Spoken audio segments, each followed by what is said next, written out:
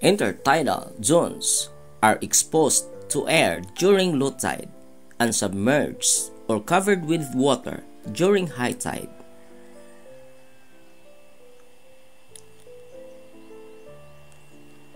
Intertidal zones are home to many kinds of marine animals and birds. The daily changes in the tides play a major role to the life of living things in this area. Intertidal zones are common to a group of islands or archipelago which is surrounded by seas and oceans. Because of this, countries such as Indonesia and the Philippines are rich in coastal areas which are affected by the rising and receding tides.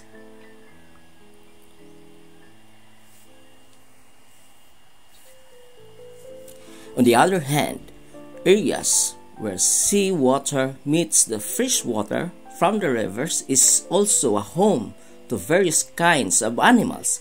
These are said to have brackish waters, which means they have a mixture of salt water and fresh water. These areas are called estuaries. Estuaries, these are the places near the coast where seawater and fresh water mixes and are called nurseries of the seas because there are many organisms reproduced in this area. Importance of estuaries They filter sediments and pollutants before the fresh water from the river enters the seas or oceans. Filter the salt from the seas and the oceans before water enters the mouth of the river. Helps during storms and floods. These serve as exit points for the floods. Without them, the streets will remain flooded during rainy seasons.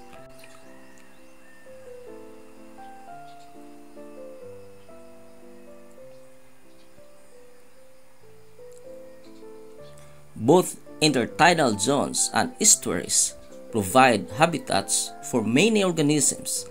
These habitats have a lot of abiotic factors that affect the biotic or living organisms thriving in them.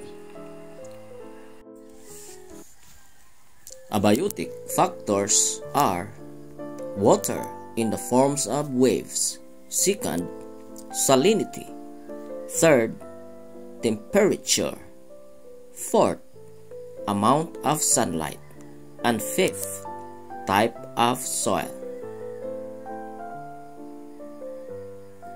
How abiotic factors affect the intertidal zones and estuaries.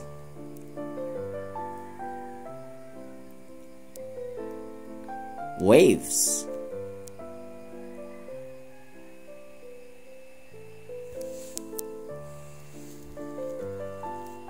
The waves from the sea may affect the type of organisms living in the estuary. Some organisms, like mussels and seaweed, attach themselves to rocks so that they will not be carried by the waves.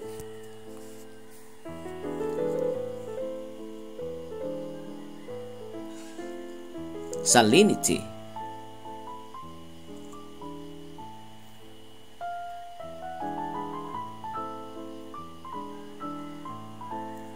Salinity reigns. The salinity of the water refers to the amount of salt present in the water. The salinity of estuaries is lower than that of the sea and ocean. Some organisms prefer to breed in places with low salinity.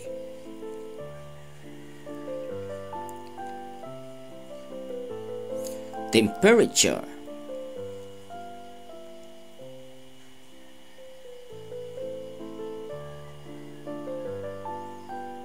Temperature of the water must not be too hot nor too cold for the young organisms to live.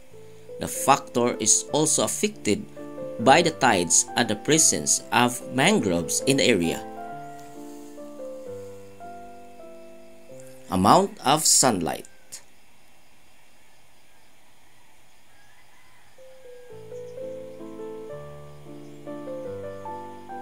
The amount of sunlight is crucial to photosynthetic organisms like phytoplankton, seaweeds, and seagrass.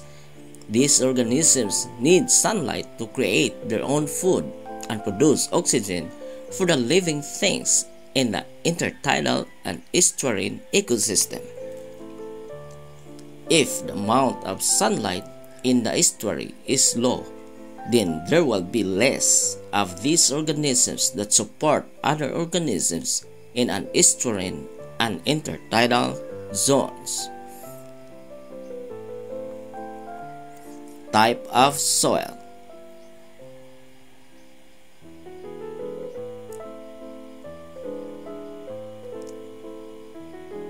Soil differ depending on the strength of waves and kinds of rocks present in the area. Some areas are full of rocks and sand, pebble, or clay. Since nutrients are found in the soil, these types of soils have an effect on the kind of living things that live in these ecosystems.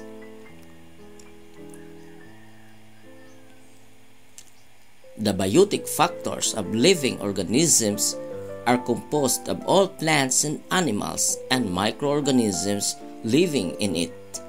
These living organisms live in different habitats found in an intertidal zones and estuaries. Different habitats. We have number one, coral reefs, number two, salt marshes, three, mud flats, four, rocky shores, and fifth, mangrove forest. How are the biotic factors or living organisms live in different habitats found in intertidal zones and estuaries?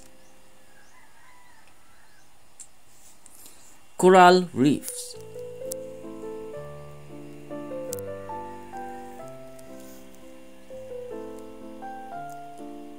Coral reefs are areas which are teeming with many corals. Coral reefs formations are seen in this area due to a large number of corals living in here. Coral reefs serve as sanctuary for young fishes. Corals, different kinds of fishes, jellyfish, sea anemones, and sea stars can be found in these areas. Mudflats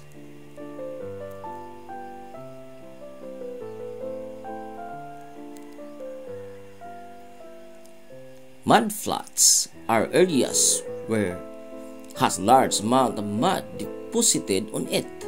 The mud usually comes from the sea and river. Animals living in mudflats are crabs, migratory birds, sand dollars, mussels, clams, mollusks, barnacles, and shellfish. Salt marsh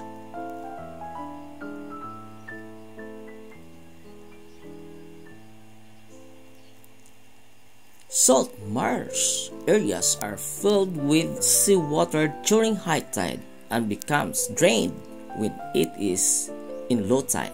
The area is marshy because of the decomposing plant matter in the area. Animals living in salt marsh are fish, clams, oysters, mussels, snails, and shrimps. Rocky shores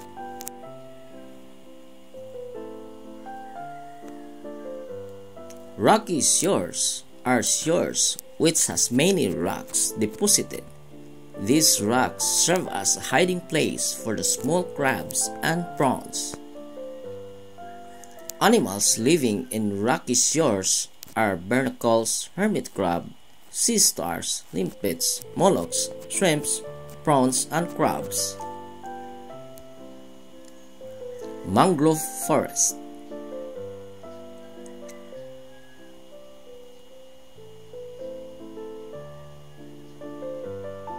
Mangrove forests are areas filled with mangrove trees that have adapted to salt water. Mangrove protect the coast against erosion caused by waves, winds, and tides. They also protect coral reefs and seagrass beds from silting or deposition of sand. Animals living in mangrove forests are algae, barnacles, oysters, shrimps, lobsters, and crabs. These are also breeding ground for different kinds of fish. What are the human activities that affect the intertidal zones and estuaries? Human activities that affect the intertidal zones and estuaries are number 1 deforestation number 2 land and water pollution and number 3 burning of fossil fuels deforestation.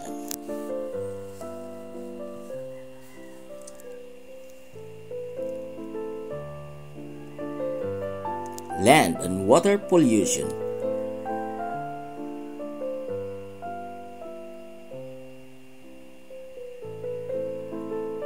Burning of fossil fuels.